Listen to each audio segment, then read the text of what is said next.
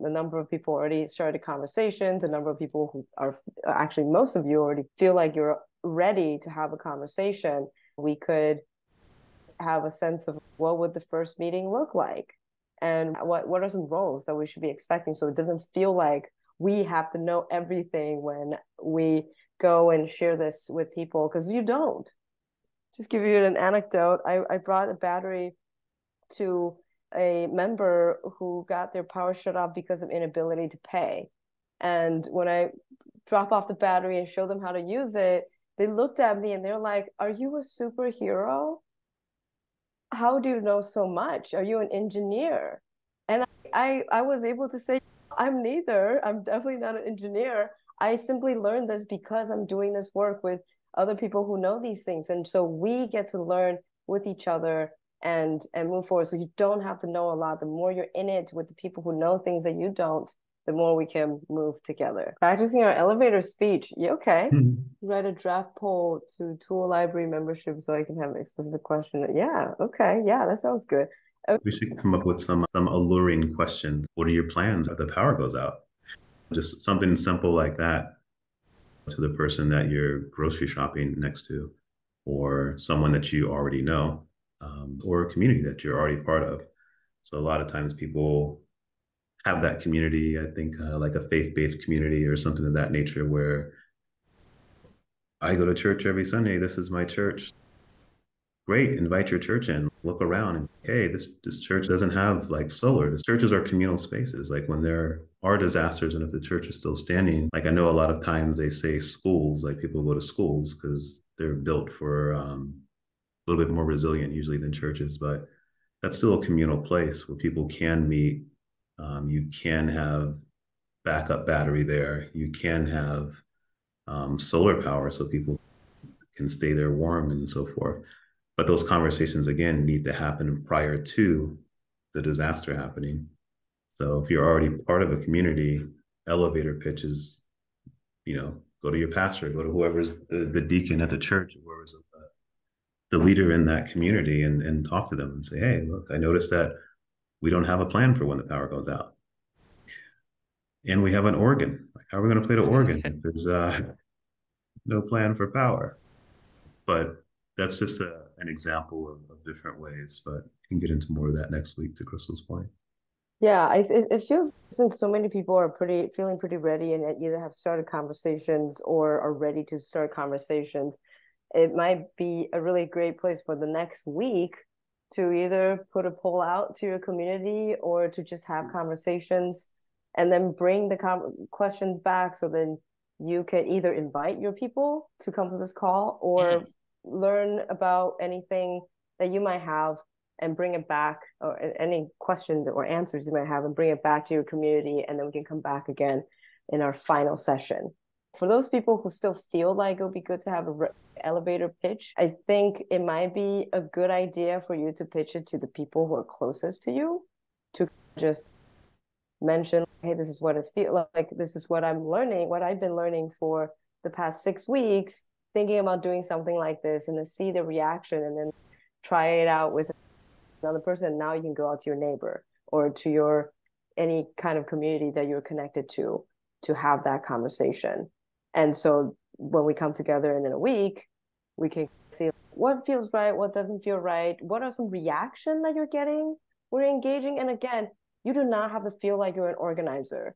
Maybe you're already an amazing organizer, but you don't have to be an organizer to just plant a seed to people. Right now, all of what we're doing here is planting seeds of an idea. And maybe you're planting seed of an idea as an organizer, and you're going to start organizing people, or maybe you're just planting seed of an idea so that you can find all the right people so that you can thrive together as a team. Or just spend the next seven days to reach out to folks, either with my close circle to practice talking about what this idea is, to pulling a poll out to the community, inviting the community over to ask some questions, and then we'll meet up again next week to see what type of questions we have. In doing the homework, I saw all the great little templates for the signups and community agreements and register organize your collectives. Is there an optimum number of batteries you might have to serve numbers of households in your collectives like right one battery 50 homes? One battery 10 homes? Is there a, a rule of thumb for some sustainable resilient number ratio? It really depends on the needs. If you have 10 households we need to charge 10 refrigerators. It's probably a lot harder to move 10 refrigerators to one battery but if you have 10 cell phones it's a lot easier to bring into one place. So it really depends on the needs. Wheelchair depends on the needs air filter fan all these things it really depends. So the most important thing is to just get in the community and try to think about what the needs are and what the relationship looks like. It like nick said in chat everything is all about the relationship and all the infrastructure pieces will come into place once you start to be with the people. Yeah. In general you'll start with your needs. So you'll come to whatever community that you're building or joining you'll already know what your needs are so you're going to come into that community and as you guys discuss an open conversation you're going to start talking about oh yes i have a refrigerator in this and someone else is going to say great i have a refrigerator too great in an event of emergency, we're both going to share refrigerators. Yeah, no problem. Two other people, great, we can fit a lot of stuff in this refrigerator, no problem. So then that changes now to this is what we need to support because we only need to support one refrigerator versus four. So the wanting to have four, now you realize, and you guys through community I've talked about it and you guys discussed, since we all live in the same building, I can come up two floors to grab my my cucumbers or whatever needs to be refrigerated. Actually, cucumbers don't need to be refrigerated. Milk, sorry. it's not a big deal, which is why when we're designing this program, we can't give antidotes for everything. We can try to, again, explain to people how to fish, and then the people can take that information and try to transfer it to their individual communities to say, this makes sense for us. This makes sense for us and then come up with the solutions for your community. Yeah, and we've already seen, right?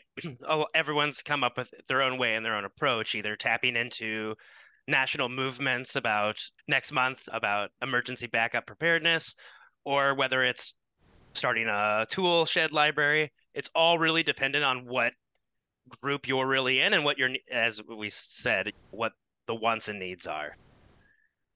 But yeah, again, just collectively coming together and listening, you can get a lot more ideas about how, like, we've heard a whole bunch of creative responses to questions today. And yeah, we hope to do more and hopefully help you guys build a community to do that yourselves. We've been so grateful that you decided to spend an hour of your busy day on every Tuesday to come together to brainstorm and collectively problem solve together for each of us to have these community based solution which then start changing the culture so for the next week we all committed to engaging with our community in some way, either by practicing how you talk about it before you reach out to your community or directly reaching out to the community because like just keeping I'm just keep looking at the sea turtle. We just gotta swim. Like the coordination between the arms and the legs and my head and my neck and my back is going to be weird, but I can only figure it out when I can get in the water. Thank you all so much for being in this with us and bringing the tenderness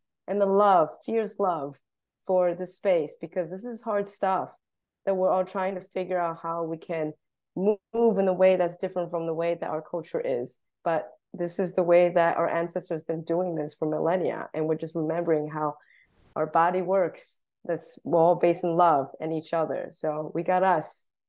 Thank you all.